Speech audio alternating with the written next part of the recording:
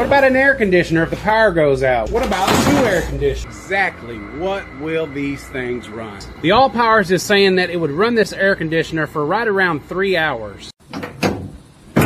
This is a generator. This is a solar generator. But what is the difference? Not everybody knows. This will power your house by the gasoline that you put in it, and this will power your house from the sun. But you can actually hook 1,000 watts of solar panels to this machine. So if you wanted to use a system like this for off-grid power, it could work for you. You could buy a thousand watts worth of solar panels and simply bypass buying a battery, buying an inverter, and the wiring and the other stuff that you're going to need to do your own home solar system. This would take the place of your solar because it's a battery, a charger, and an inverter all in one. Now during a power outage, we know that this generator right here will run our refrigerator, an air conditioner, our TV, the internet modem, a fan, but can the all-power solar generator do the same thing? Okay, so for now we're going to simulate losing power in electrical storm.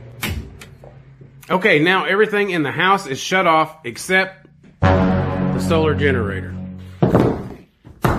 Okay, we're to plug the TV, the internet modem, the fan, fan, and we'll go ahead and vacuum the floors.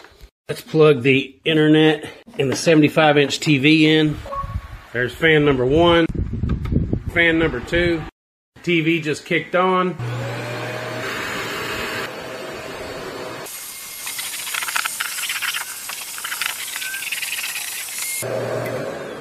Okay, we're pulling 275 watts and we're still showing five hours left. So I wanted this video to be more down to earth, more practical, because most people want to know just the simple things, like what will it actually run and how long will it run it. So I turned the fans off and without the fans going, it's telling me that I'm going to be able to watch my TV with internet. Okay, so we're going to go out here into the shop and we're going to put this thing through some heavy duty testing. People want to know exactly what will these things run. So what about an electric heater? I don't think that's practical, but let's just see what it does. Turn it on high, there it is. Almost 1500 watts. How would it do if you were working on a job site?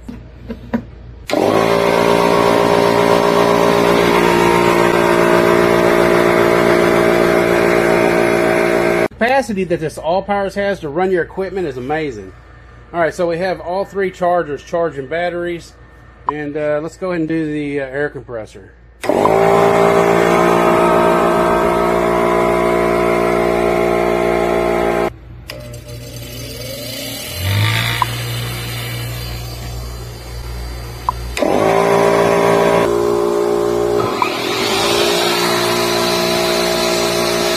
What about an air conditioner if the power goes out? What about two air conditioners? There's a compressor kicking in. Not bad. It's running 432 watts. The All Powers is saying that it would run this air conditioner for right around three hours. Let's see if it'll run both air conditioners at the same time.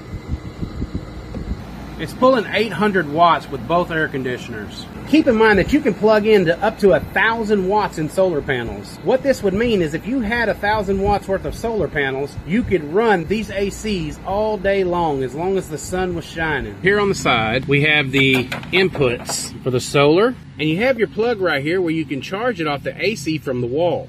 I wanted to show you here on the other side, they have a port one and a port two. These are for external batteries. All Power sells extra batteries that can hook into this battery bank and triple your battery storage.